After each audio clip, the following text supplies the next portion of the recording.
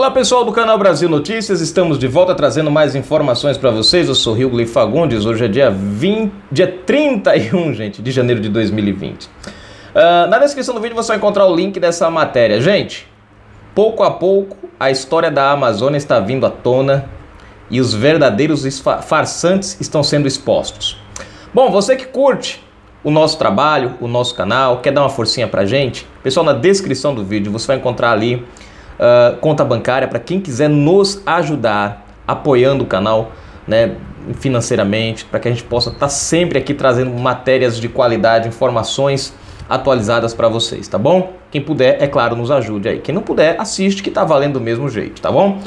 Ó, oh, nós, nós, temos ouvido a narrativa de que Bolsonaro tá mandando fogo na Amazônia, tá atacando fogo. Gente, tem um vídeo aqui, eu não vou passar porque o vídeo é 20 minutos de entrevista, tá certo?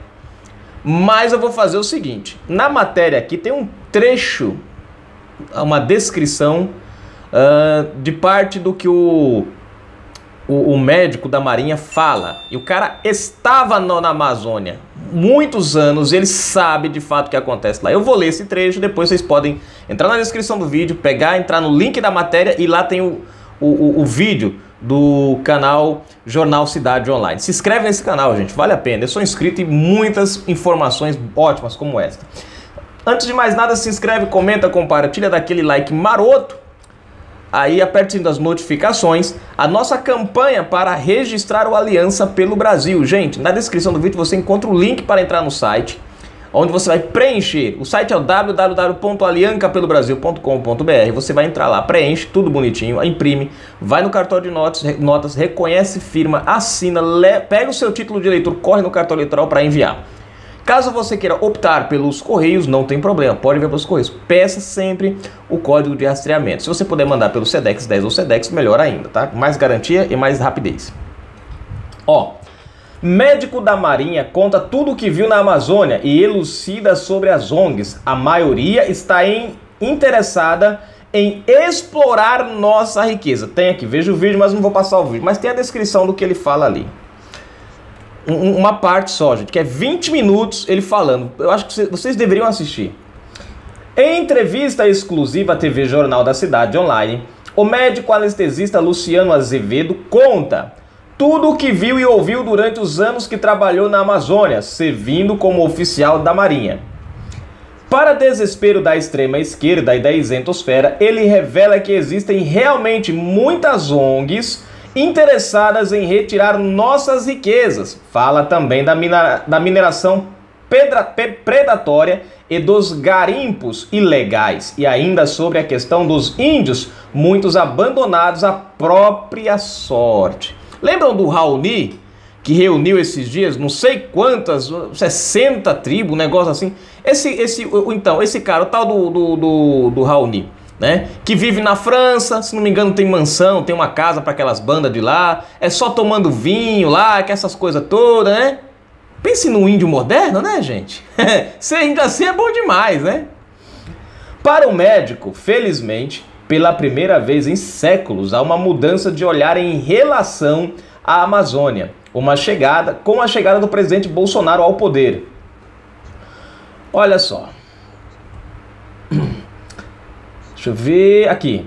O que me deixa muito animado nesse momento histórico que estamos vivendo durante esse governo é que tenho conseguido participar de alguns debates em relação à Amazônia e o governo hoje compreende que a Amazônia é grande demais para que somente o Estado monitore aquilo tudo. O Ministério de Ciência e Tecnologia está fazendo um trabalho maravilhoso, chamando diversos parceiros da iniciativa privada, estimulando o aparecimento e crescimento de startups de monitoramento e desenvolvimento da Amazônia, ressaltou o médico. O Ministério o ministro das Ciências e Tecnologia é o Marcos Pontes, né? Se tu me falha a memória. Astronauta brasileiro danada. Nós somos top. Bom, confira outros destaques da entrevista. Pronto, esse é o ponto que eu vou ler de uma, uma descrição de parte da, do, do, do, do, que tá lá. Gente, são 20 minutos, vocês têm que assistir. Isso aqui é só um pedacinho. A extração de minérios é feita numa região isolada. É tirado de maneira irregular A vila do garimpo cresce de maneira desordenada, então a criminalidade é muito alta, a prostituição é muita alta, entrada e saída de drogas. Outro problema é que a gente exporta o minério de maneira bruta e nós compramos o minério já trabalhado a um preço muito maior. Ou seja, quando nós mesmo poderíamos trabalhar o minério aqui no Brasil, olha só que interessante, poderíamos trabalhar o minério aqui no Brasil e ao invés de nós comprarmos o minério trabalhado, nós vendermos. Mas não, nós pegamos ele bruto, mandamos e depois compramos por mais ele mais caro. Olha só que interessante, né? Mas isso são heranças do governo petista que fez isso com o Brasil. Temos mais de 100 mil ONGs na Amazônia, nacionais e internacionais, e boa parte das que se dizem, preste atenção nisso, que se dizem nacionais são financiadas pelo capital estrangeiro. De verdade, de coração, 100 mil ONGs numa região, se todo mundo tivesse realmente interessado em resolver o problema, não estaria com muita coisa resolvida já? A gente não estaria ainda numa região em que temos uma das maiores taxas de mortalidade infantil do planeta, mais de 25 óbitos de criança por mil nascidos vivos. Um país desenvolvido tem abaixo de duas para mil. A maioria dessas ONGs que se dizem apaixonadas pelo Brasil pelo índio que precisa de ajuda, está interessado em explorar a terra e tirar riquezas daqui. Ele coloca uma questão aqui que é interessante. Você tem mais de 100 mil ONGs numa região como aquela. E até agora ninguém nunca resolveu nada? 100 mil ONGs e nada de. A coisa parece que vai de pior a pior. É sinal que essas ONGs não estão dando certo, gente. 100 mil ONGs e não resolvem o problema? Todas na defesa do índio, da preservação da Amazônia e não conseguem, tem coisa errada aí. Fala se não tem. Essa história de incêndios na Amazônia é outra marmelada. Os dados mostram que esse foi o ano que teve menos incêndio lá. E quem conhece a floresta sabe que não vai haver um incêndio que vai devastar a floresta inteira. Isso é impossível porque uma área é extremamente úmida e irrigada uma floresta tropical com muito verde, qualquer incêndio natural é autolimitado. Agora, incêndio criminoso cultivado é diferente. Que é o que nós temos visto, eu tenho falado sobre isso aqui. Os aumentos dos focos lá na Amazônia são por conta de incêndios criminosos para tentar culpar o governo Bolsonaro. Eu não caio nesse papo não, gente. De que, ai, pô, a Amazônia tá pegando fogo porque Bolsonaro... Meu, meu irmão, foram... Lembram a matéria daquele pessoalzinho lá? Esqueci o nome lá daquela ONG lá né? O nome daquela ONG, meu Deus, agora me fugiu. Mas tem a matéria aí, né? Que eles estavam, o, o, é, da brigada lá, né? Que eles, eles mesmos tocavam fogo, depois eles mesmos iam apagar e ganhavam doação. Gente, é inacreditável. Na minha visão, temos muito a aprender com os índios. Eles são frutos de uma cultura milenar, mas temos que levar o conhecimento forjado ao longo de milênios para que essas pessoas possam evoluir ter acesso ao Estado brasileiro, acesso à saúde de ponta, facilidades que o país pode dar a eles e que eles e que eles decidam ou não continuar vivendo da maneira deles. Uma coisa interessante aqui, só para a gente fazer uma pausa aqui, você sabia, gente, que tem ONG que multa o índio se ele trabalhar, se ele usar um equipamento é, é, de ponta lá, na, na, na, lá, lá onde eles moram lá. Você sabia que tem ONGs que costumam fazer isso? As ONGs, gente, e o governo PT não tem a menor intenção de tornar o índio integrado na nossa sociedade brasileira, na nossa cultura, enfim, uh, uh, no, na, na, vamos dizer assim, no nosso estilo de vida. Eles precisam que o índio continue submisso, né? É, com demarcação de terra, limitados à cultura deles. Eles precisam disso, senão eles não têm a narrativa deles para atacar o atual governo. E, pasmem, o governo Bolsonaro está mudando isso daí. Índios estão tendo acesso à escola, índios estão tendo acesso à educação, mudando a forma deles. Eles é quem tem que decidir se querem entrar na nossa cultura ou permanecer isolados. A escolha tem que ser deles, não de ONGs que vem de. Ah, enfim, vamos embora. Tem aqui o vídeo para vocês assistirem. Né? Deixa eu ler o título para vocês do vídeo. Médico da Marinha detona. A maioria das ONGs na Amazônia está interessada em explorar nossa riqueza. É o título do vídeo. Então você pode pesquisar aí ou entrar no, no, no canal. Cadê aqui o nome do canal? Onde está ali? Aqui. Uh, Jornal da Cidade Online. Você entra nesse, nesse canal e vocês vão encontrar esse vídeo aqui. Ou você entra na descrição do vídeo aqui também, tá lá a matéria e, inclusive, o vídeo né, dentro da matéria. Gente, é um absurdo o que as ONGs estão fazendo. E aí, você parando para prestar atenção, uma coisa que a gente não tinha parado, é, é a proporção, mais de 100 mil ONGs. E parece que a coisa só afunda cada vez mais ali naquela área. Isso é um sinal claro que essas ONGs não estão trabalhando absolutamente a favor dos índios, não estão fazendo nada para ajudar os índios. Né? Eu citei aquele índio Raoni, que de vez em quando arruma um, umas assinaturas, vai não sei aonde, vai no... Agora, você já prestou atenção? O cara fala francês, olha só interessante, nada contra o índio ter a cultura, né? É, e se expandir no conhecimento, mas ele fala francês, vive o tempo todo na França e quer meter o B dele aqui no Brasil? O cara não sabe, ele não vive, ele não passa pelo que os índios passam. O cara bebe vinho importado, eu, eu, eu né? Tem, eu, eu, trouxe uma matéria tempos atrás, parece que ele tem uma casa muito bem, uh, uh, uma mansão, em, não sei se é na França, onde que é, né? O, o lugar aí, mas diz que ele é bem, o cara é bem de vida, meu irmão.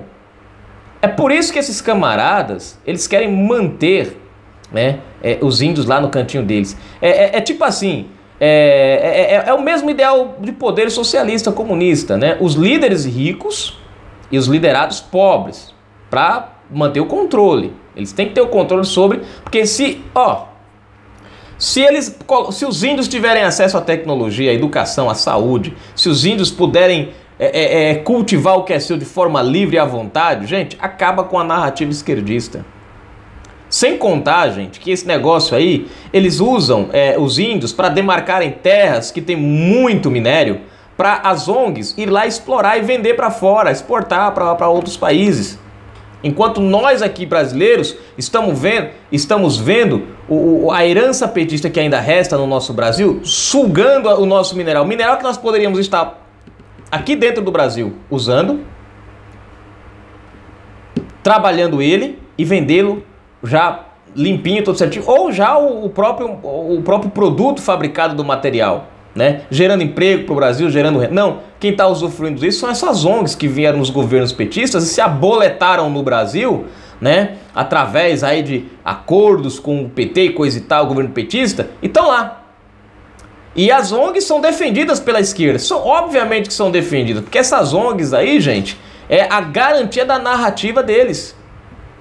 Né? Sem essas ONGs, os índios poderiam, talvez, quem sabe hoje os índios estivessem inclusos, estivessem incluídos aí na sociedade brasileira. Gente, na lógica da lógica, nós somos os intrusos aqui no Brasil. Os índios são os verdadeiros donos do país. Se a gente for olhar pela lógica, né? Mas estão escravizados pelo sistema de governo petista, né, infelizmente. Mas parabéns ao nosso presidente. A questão da chamada. É, outro dia o Bolsonaro recebeu um monte de índio, gente. Um monte de índio lá no, no, no Pasto do Planalto. Né, deu atenção ao pessoal. O cara é, o presidente, é, o nosso presidente é fogo, não, não é brinquedo não, gente. Ali a esquerda mói, chora, tenta criar, mas não tem jeito, não dá para esconder os fatos. Contra fatos não tem argumentos, né? Ou, ou nós temos a, queima, a, questão das queimadas também que o médico, ó, o cara, o cara é da Marinha viveu lá, conhece o passo a passo, sabe o que acontece lá. Ele fala das queimadas, né, da, do exagero, da, da pilantragem que a mídia faz aí sobre as queimadas. A Amazônia, desde que a Amazônia é a Amazônia, tá sempre pegando fogo, gente. Tá boa.